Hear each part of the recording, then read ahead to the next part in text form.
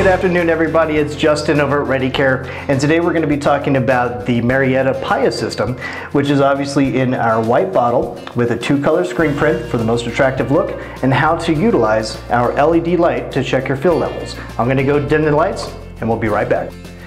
Now as you can see we've went ahead and dimmed the lights so we're just going to use our LED light to check our fill level. You're going to put it right back against the base of the bottle and as you can see your product level is easily seen.